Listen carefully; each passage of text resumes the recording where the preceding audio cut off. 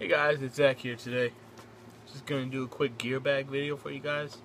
What? It's my first video, so hope you guys like it. Um, first in the gear bag is my gamer. It's a Brine Superlight X clutch on a Bolivian cherry wooden shaft. Some nice tape on there, USA. Uh, strung with a mid-high. Decent channel for an X head. Uh, nice pocket. Yeah, basically brand new. It's a replica of my old gamer. Also, classic Cascade CPV. It's got my team on there. Look at that tilt game. And not too bad of a helmet. Good protection. It's comfortable. Would like to get a new one, but they're pretty expensive. Uh, got a red chin strap on it, flag taped, and you Superman tape with my number on it. Nice little touch I did. also, footwear is always important. Got some nice Nike Huarache 4s, limited edition, red and gray, red chrome bottoms.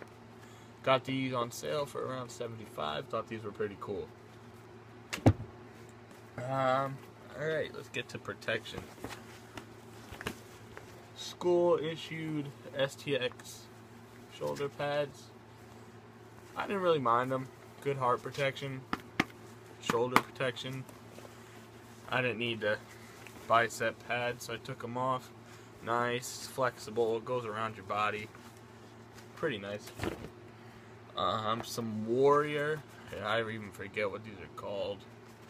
Uh, Warrior elbow pads, nice and little. I play middie, so I don't really need a lot of protection because I'm more defensive.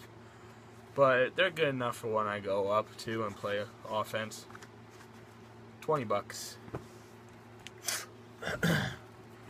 right here, Warrior Hypno 4 gloves. Nice gloves. I mean, very comfortable, broken in after only just a few minutes of playing around. Good flex on it, good protection. Nice thumb too. If you guys can see that right there. It's nice. Fingers. Um, these are my newer pair that I got. I like them so much I got a new one. Put them on for you. Nice flexing grip. I don't like the cuffs.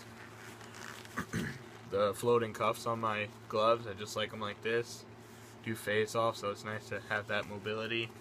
Um, I've been meaning to take these out, never got around to it. Nice palm right there. Good. It's thumb. That's the only thing is the thumb comes up a little high, if you could see. But other than that, they're pretty nice. See the flex on them. Also, a little nif few nifty things to keep in your bag. Crossballs, obviously. Um, got some tape too. It helps if you need them on your stick or if you need to tape something up real quick on one of your equipment or something. Keep this in there. Also, deodorant. I know I'm not the only one that stinks after a sweaty box session. So always keep this, maybe some Febreze or Axe or something. Something just to keep the stink away from all the ladies that want to come after you and your flow. Speaking of flow, American bandana. Keep that in my bag. Keeps this out of my eyes. Nice little touch. Alright guys, that's all for today. Um, I'm Lion Lacrosse, Zach Youngberg. Subscribe, or comment, or like, or whatever you have that can make my um,